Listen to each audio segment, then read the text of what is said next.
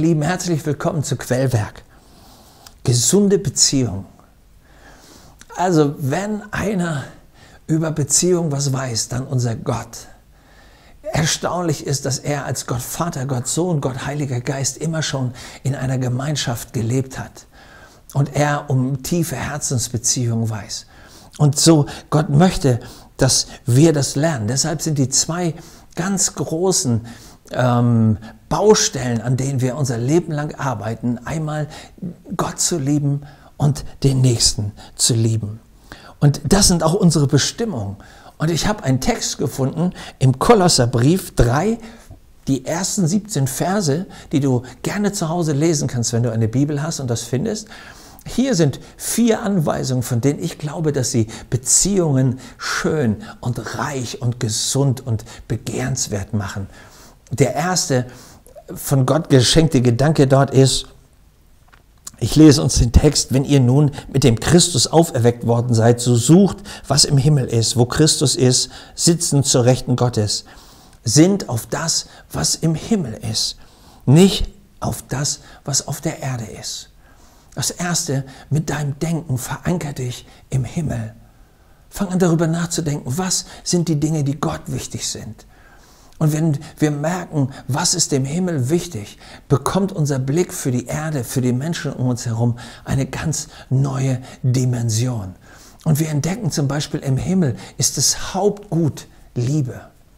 Und wenn wir das auf die Erde runter transportieren, merken wir, wie viel Heilung, wie viel Freisetzung das wirkt. So, nimm den ersten Gedanken, veranker dein Denken im Himmel. Veranker dein Denken in der Liebe Gottes. Das zweite ist, entsorgt deinen Müll. Was bedeutet das? Hier heißt es, tötet nun eure Glieder, die auf der Erde sind, wie Unzucht, Unreinheit und Leidenschaften, böse Begierden, Habsucht, Götzendienst.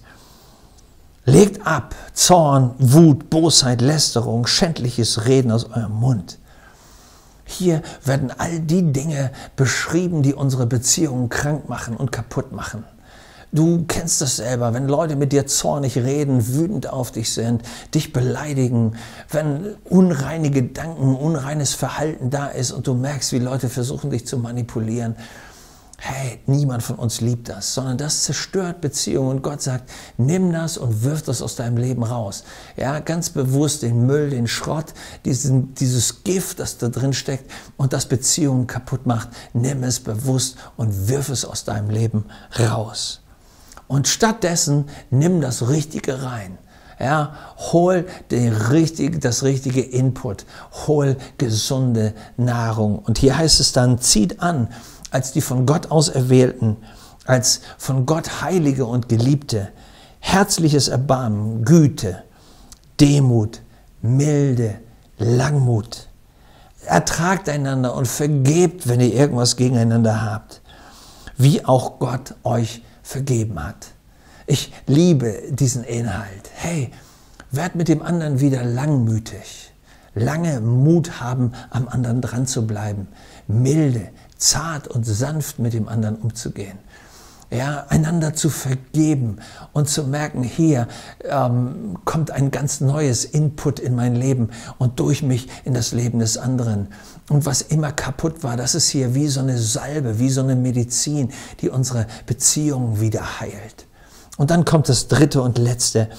Und der Friede des Herrn regiere wie ein Schiedsrichter in euren Herzen, zu dem ihr auch berufen seid, in seiner Gemeinde und seid dankbar.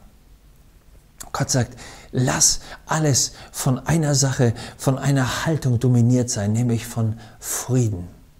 Frieden, dieses bewusste Hineinsprechen und den Zorn rausnehmen und wirkliche Liebe, Vergebung, Gnade reinsprechen und Frieden erzeugen. In der Bibel gibt es so einen Satz, da ist es selig sind die Friedensstifter. Wir nehmen aus der Liebe Gottes und geben das weiter und Friede entsteht. Wir sprechen Worte der Gnade und Frieden entsteht.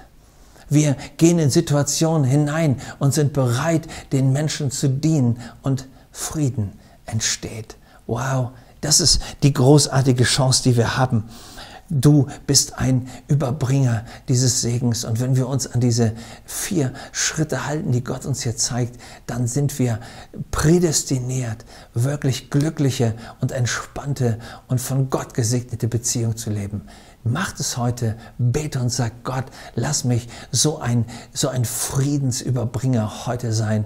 Lass mich jemand sein, der wirklich sich im Himmel verankert und den Himmel auf die Erde bringt. Danke Gott, dass du mich zu jemandem machst, der wirklich ein, ein volles Paket deiner Liebe an Menschen weitergibt. Sei gesegnet.